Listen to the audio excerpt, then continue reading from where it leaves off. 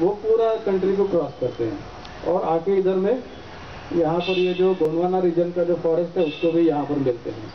और यहाँ पर आप देख सकते हैं, देख सकते हैं कि नागपुर का लोकेशन इस तरह से है कि अगर ये बाकी बम्बई दिल्ली जैसे बहुत बड़ा हो गया तो यहाँ पर जो भी लिंकेजेस बायोडाइवर्सिटी के अवेलेबल है, वो कट जाएँगे। और यहाँ पर ये जो मतलब हमारे देश को भी हम नुकसान पहुँचा सकते हैं, इतना बड़ा हमारे शहर का हाथ। हो सकता है, अगर हमने ठीक से काम नहीं किया था नेक्स्ट ज्योग्राफी के बारे में थोड़ा सा मैंने बताया।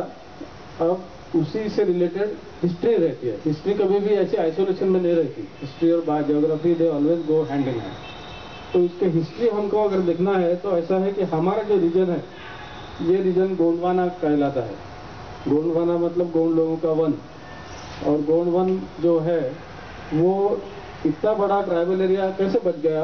इसके, इतने बिल्कुल देश के सेंटर में।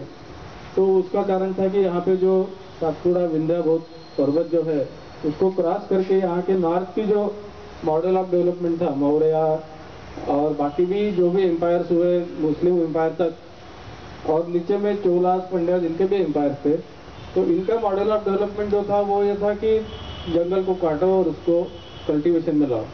जबकि ये एरिया उसमें से छूट गया। और ये कभी भी बहुत रिसेंट टाइम तक इस मेन स्ट्रीम जो डेवलपमेंट कहा जाता है मॉडल ऑफ़ डेवलपमेंट कल्टीवेशन का उसके अंदर नहीं आया। और इसी के कारण हमको यहाँ पे सारे इतने